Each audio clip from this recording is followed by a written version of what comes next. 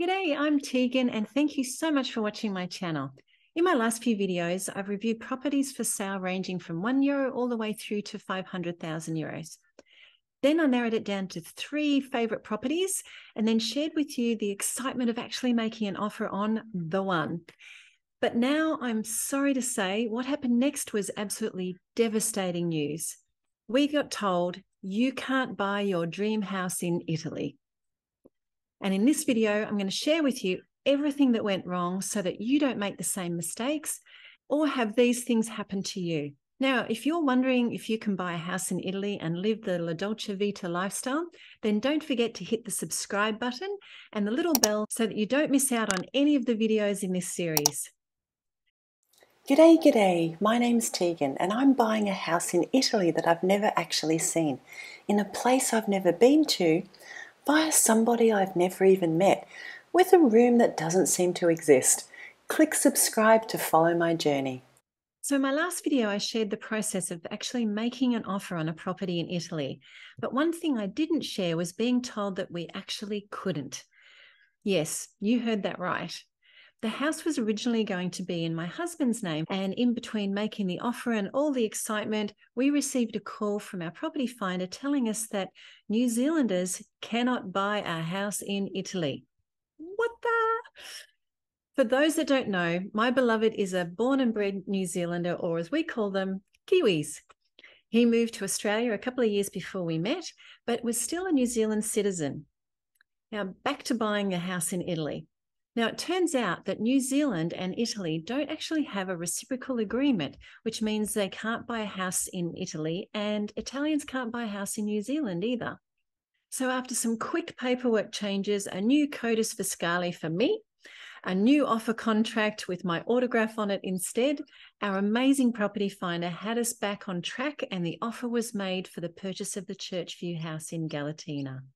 Now, if you've watched any of my other videos, you may be thinking my channel is actually sponsored by Davide Mengoli and his company, Salento with Love, but that's not true. I actually don't receive any form of compensation. I just know that without his and his team's expertise, I wouldn't have been able to purchase anything in Italy.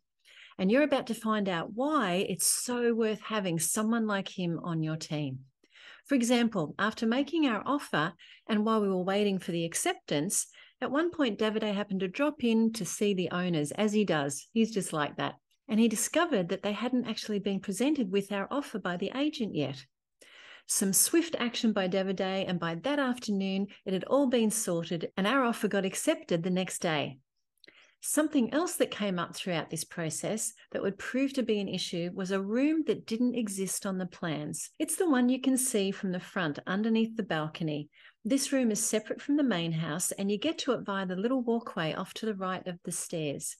It's a gorgeous little self contained apartment, which I'd already assigned a name to be my mother's when she visited. It's got its own bathroom, church views, and barrel ceiling. But it didn't exist on any of the titles, plans, paperwork, or anywhere. And after consulting with the owners, it was discovered that the mother's room, as I'll call it, was part of a handshake agreement between their fa- the owner's father and the previous owners, who no one seemed to be able to find. Now, this can happen in purchasing a house in Italy. That's why having plans and having someone to help you is so important. Now, before making an offer, we were assured it wouldn't be a problem, as it was just a matter of finding the previous owners and sorting it out. Hmm, famous last words. But now at least it was in both parties' interest to make that happen as the deposit had already been paid. So if it fell through, we would get our deposit back times two. So basically, we were all invested in finding these people. Now, months went by and everyone was doing everything that they could to get the paperwork sorted, but it just wasn't happening. Again, I thought our dream was about to dissolve. The problem was they were having difficulty locating the previous owners as they'd actually passed away. And so it was then a matter of finding their family members. It was like a needle in a haystack as they were somewhere in Rome. I was devastated by this stage. My patience had all run out. In fact, I honestly didn't think it was going to happen, but I didn't want to give up hope. After all, this was my dream. Then Davide and Salento with Love came to the rescue again. I honestly don't know how he did it, But through his persistence, his connections, and his incredible people skills, we finally had plans in front of us for the room, and we were able to proceed with buying our house in Italy. The next step was to organise a power of attorney or POA. This is what's needed to purchase a property in Italy completely remotely. Davide and his team sent through the paperwork, and the day we got it, I was actually in Queensland, which is our legal place of residence, but only for a short break. It was a Thursday, and I was leaving on the Sunday and wouldn't be back again for over a year.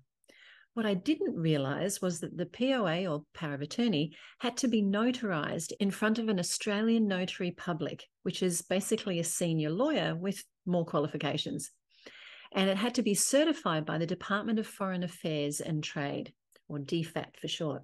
And they provide an apostille to authenticate the actual document. And this is what's required for overseas documents.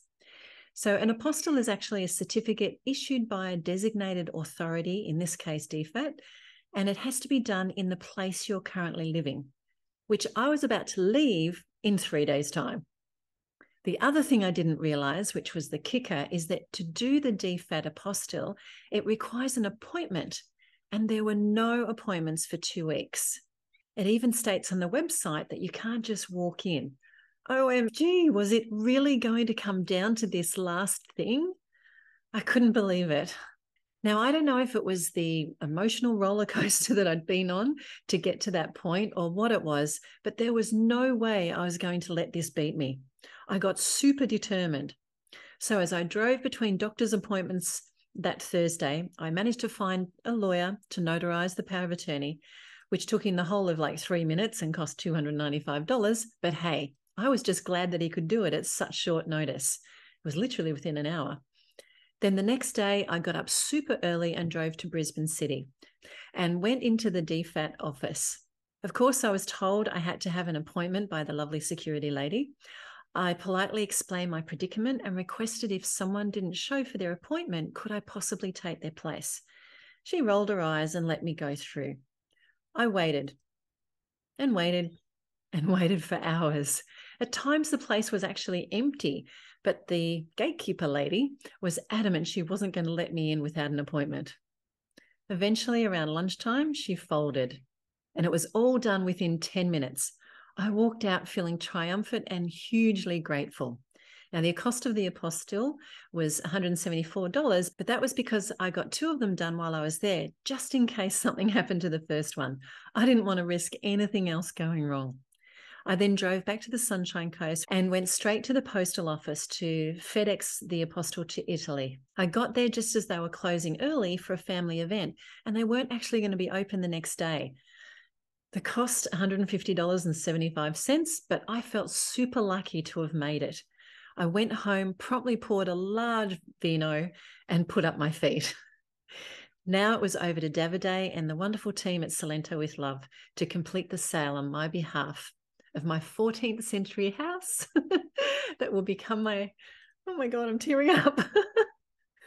oh. That was ridiculous that will become my Italian home.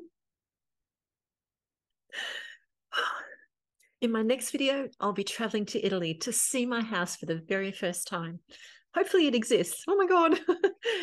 Now, now, if you have any questions about any of the processes, please ask me in the comments below.